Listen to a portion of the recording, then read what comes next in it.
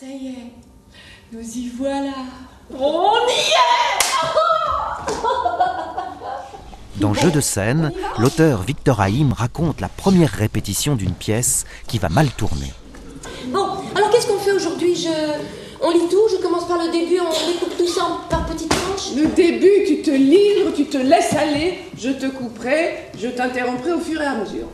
Sur le plateau, Hortense, une excellente actrice, très instinctive, se retrouve face à Gertrude, une intellectuelle au langage compliqué, qui met en scène sa propre pièce.